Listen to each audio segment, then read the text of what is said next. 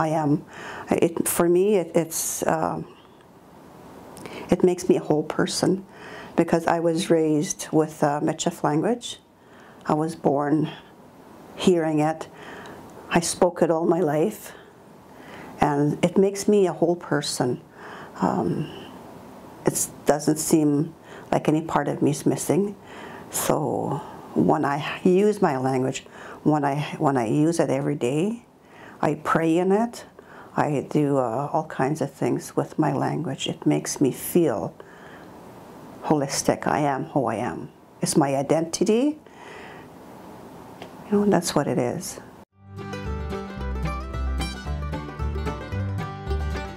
I can see speaking another language, but for me, uh, is, uh, like I said before, it's who I am. Um, uh, other than that, uh, I can take up another language, but it won't be me. It won't be part of my culture. It won't be part of my values, my beliefs, because I was taught when, you know, since I was a baby, everything and anything that I did, uh, we were taught in Michif. So that's who and what I am. It's my identity. It's part of my culture. It's part of my values. It's part of my beliefs. It makes me a whole person.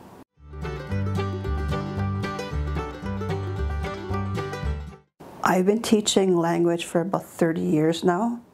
Um, I speak my language with anybody that I know speaks Michif. And uh, I teach it in the schools. I teach it to my son. I starting to teach it to all, anybody that would listen. I do it in the community. I do it, uh, I've been doing for a lot of years already. I speak to my spouse, uh, my sister-in-law, my brothers, my sisters. Uh, we all speak it. The last two of my sisters, they, they understand it, but they can't speak it, like uh, too much. They know a few words, better than that, but they can understand. So I talk to them in Michif. So in hopes that it would, uh, they'll pick it up you know, I talk to my nieces, my grandkids, anybody that would listen to me. Um, I, I speak it to them.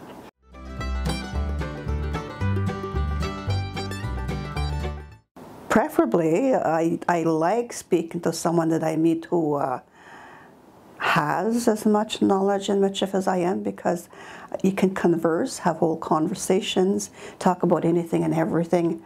But it doesn't matter who you meet that knows how, as long as you have, you know, even a short conversation is beautiful. Anybody that you meet that could speak that, it is. Anybody. I even met a, little gentleman just out there um, at the lunch hour, and uh, I, did, I didn't realize he didn't know how to speak Michif, but he came out. He had the biggest smile on his face, so I, uh, I asked him, Tanchikia. And then uh, the Kia set off a memory for him, I guess. So we started chatting. So anybody and everybody. There's uh, Vivian Smith, George Pelchi, my spouse Harvey, myself. There's a few others that know a little bit, like uh, some professors at the university that I taught, um, other people in the community.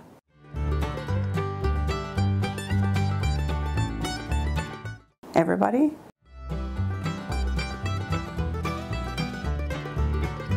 Anywhere and everywhere. Shopping, uh, playing, schools. It's starting to come to the schools in Brandon. Um, I've taught it uh, at the high school level for four years, three years. Fourth year, um, I taught it at kindergarten, grade one. That's where I am right now, as I go daily and I go and teach them Michif, the little guys.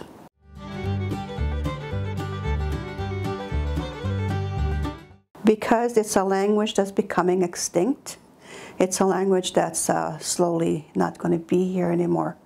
Um, people my age like, uh, were the last ones, and there's not that many out there anymore. In the last 15 years, I used to have a data of uh, speakers you could call on these speakers anytime if there was a conference or if you wanted to do something community where you needed someone to come, you know, just to have a conversation or go for coffee or tea.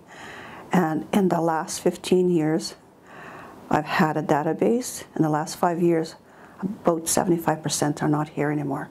So it's very, very crucial that we uh, teach others, to uh, anybody and everybody, like I said, who wants to learn, who's interested, because there's a keen, people want to learn. They're very eager to learn because um, it's part of your identity. If we lost it, it'll be part of us that's not here because every nation has a language.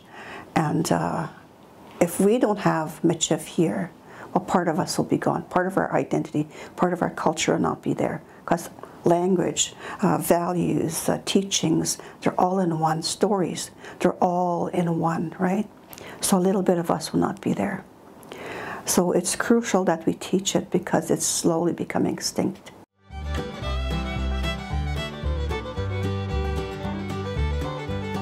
That part of who and what we are part of our identity, part of our teachings, part of our stories, part of our history would not be there. If I didn't know my language, part of me uh, would be missing.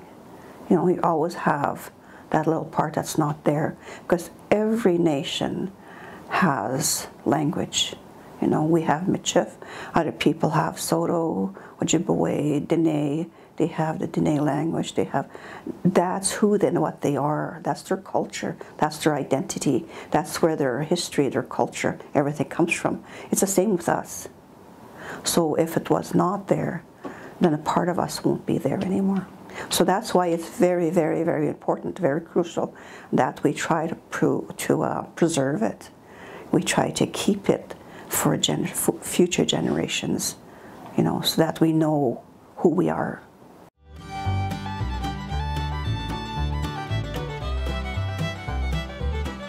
For them to learn Michif would be kind of like having it as a family thing, uh, because not only one, you know, the thing is, uh, I'm just changing the subject here. If you if you uh, have a child who is learning Michif, where does that child take that? You know, sure they're learning a new language, but where do they take it? Who do they communicate with? You know, you need someone to be able to communicate with in order to keep that language alive.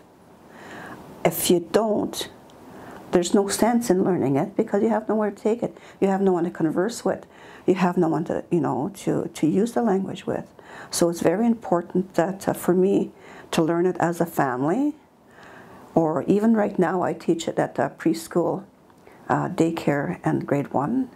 But now I'm also targeting the parents because there's no sense for that little one to learn that language and not be able to use it anywhere.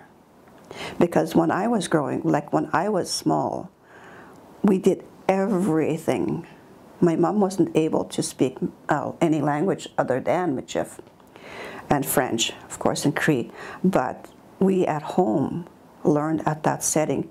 We learned every day activities through our language, which, which was Michif. We didn't learn it in English. We didn't learn it in Cree. We didn't learn it in any other language but that. So all our daily activities were, you know, in, in, in Michif. That's how we learned and kept our language. I didn't know how to, how to uh, speak English until I went to school. I knew my, my numbers up to 10. My sisters, they made sure they taught me, and then my, my alphabet's up to F. But interesting enough, when uh, they did that, you know, they, they had these little books called Dick and Jane at that time. They read them to me so many times that I was able to memorize those books when I went to kindergarten, you know. So, so I had at least had that advantage where they didn't, they didn't even know how to ask to go. At that time, we didn't have indoor toilets like now, you know. We had to run outside, and they didn't even know how to do that you know. So I was taught that, how to put up your hand, can use bathroom, go out. Uh, but they didn't have that. So can you imagine coming into a classroom where English is the preferred language and you couldn't speak your language at all and you didn't know how to ask? It's almost like now, it's the same concept like somebody doesn't know Michif and trying to learn that Michif. And the best way to do that is doing daily activities, you know, cooking and shopping and you know eating and all those.